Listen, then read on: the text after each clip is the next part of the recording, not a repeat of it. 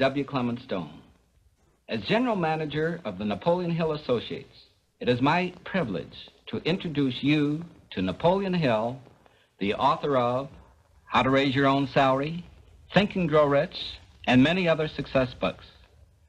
This is another in a series of inspirational visits with Napoleon Hill, who has helped many thousands of people find their places in the world and acquire financial independence far beyond their needs. And now, I share with you Napoleon Hill.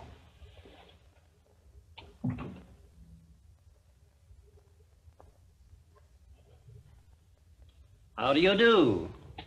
I'm very happy to have this personal visit with you. Won't you be seated, please? We come now to the fourth visit, where I shall introduce you to your greatest asset, and with this introduction, the master key to success will be within your easy reach. I say this is your greatest asset uh, because it is the fourth of the 17 success principles with which you may tap and draw upon the supreme power which created you and runs this entire universe. The name of this principle is applied faith. And I want you to remember it is not something I am bringing to you, but it is something you already possess, although you may not have made use of it in the past. And now let me tell you what applied faith is and uh, what you can do with it. Applied faith is the mental attitude wherein you may clear your mind of all fears and doubts and direct it to the attainment of whatever you desire in life. In our first visit, I told you that you and I and every person were blessed with the privilege of complete control over but one thing, and that is the exclusive right to take possession of our own minds and direct them to the attainment of whatever we desire in life. Applied faith is a mental attitude we must cultivate and maintain before we can take complete possession of our minds. It is the means by which we may break the seal of that envelope I mentioned in our first visit and take full possession of the six forms of riches we get in return for taking possession of our minds and using them.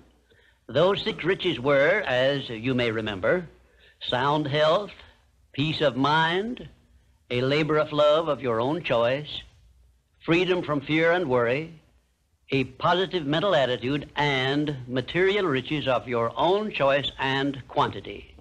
We are now, this very moment, standing in front of the gateway which can be opened only with the great master key to success. And I'm giving you the closest clue I have yet mentioned as to how you may take possession of this key.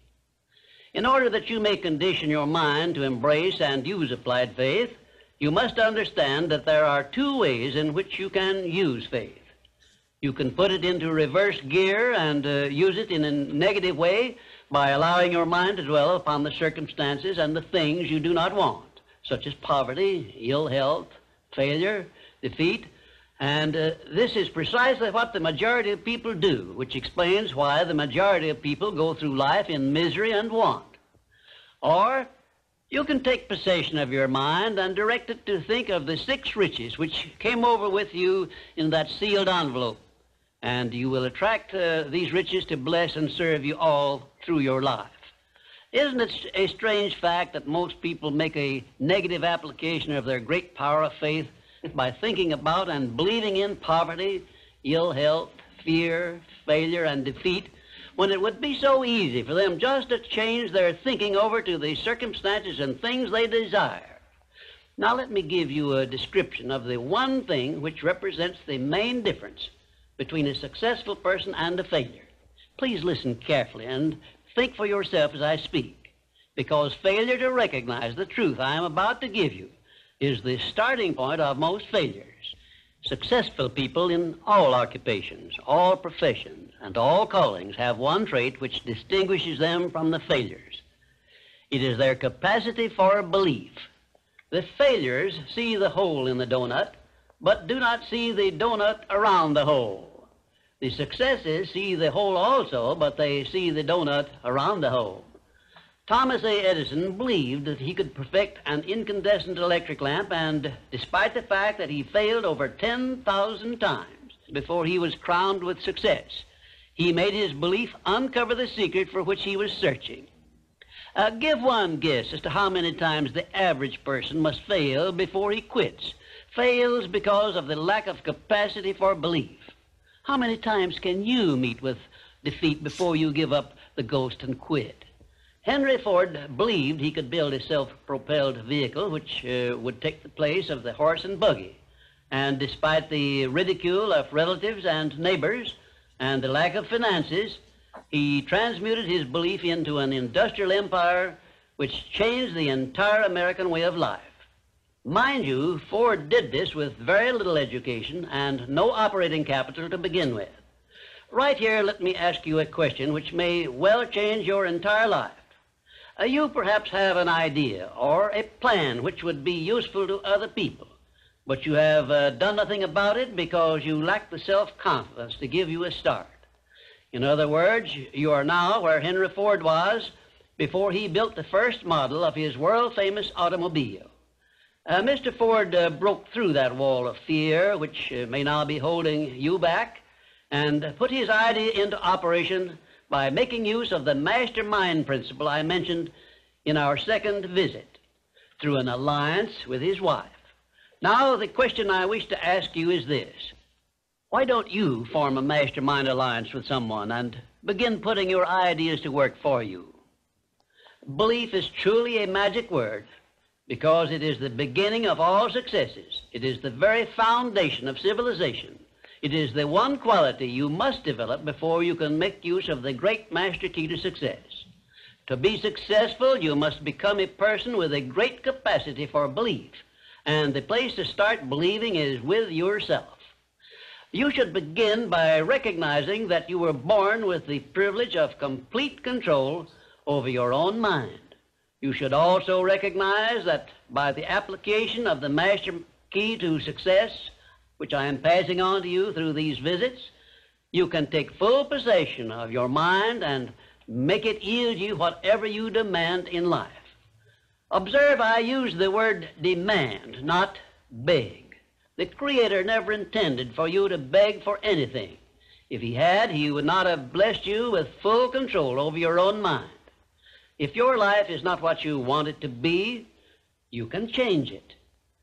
As a matter of fact, you can do anything within reason that you desire to do if you embrace the principle of applied faith and keep it directed to the attainment of the things you want and off the things you do not want. I should know what I'm talking about because I was handicapped at birth by the four horsemen which keep most people in bondage all the days of their lives poverty, fear, illiteracy, and superstition. Theoretically, I had not the slightest foundation for hope that I could ever escape the influences of these four curses. But I did escape, and now I am devoting my entire life to helping other people to gain deliverance from these four basic enemies of mankind. I have discovered the master key which gives one deliverance from all the evils one does not want and opens wide the gateway to the riches which the Creator intended every person to enjoy on this earth. Applied faith is the only means by which the master key can be appropriated and used. Therefore, I give you these instructions through which you may create a mental attitude which is favorable for the expression of faith. One, know what you want and believe that you can and will get it. Two, Give expressions of gratitude many times daily for having received that which you want, even before you actually get physical possession of it. Possession starts first in the mind. Uh, please remember this. Third, keep your mind open for hunches from within. And when you are inspired to action, do not wait, but move on your own personal initiative at once. Remember, there can be no application of applied faith without action. Fourth, when overtaken by defeat, as you may be many times, remember that man's faith is tested many times before he is crowned with final victory. And accept your defeat as nothing more than a challenge to keep on trying. And five, A burning desire for the things or circumstances you want is the starting point of all applied faith. Be definite, believe, and act. And uh, keep on acting if at first you meet with a defeat. Six, when doubt creeps into your mind, remember that uh, whatsoever a man believeth, that shall he also reap. Remember, faith is not something you get, faith is something you already have. But you may be using it in reverse gear by believing in the circumstances and things you do not want, the things you fear. Remember also that faith is guidance only. It is not a power which will bring you what you want, but a power that can guide you to go after what you want and get it. Remember, too, that your faith is limited only by your own capacity to believe. You can do whatever you make up your mind to do. I believed I could give the world a practical philosophy of success which would free men and women from their fears and limitations. I stood firmly back of that belief through 20 odd years of effort and saw my belief give freedom to millions of people. Do the thing, said Emerson, and you shall have the power. May I paraphrase this great truth by saying, believe and you shall receive. And now, until our next uh, visit, will you please remember that your life is exactly what you make it by your own mental attitude.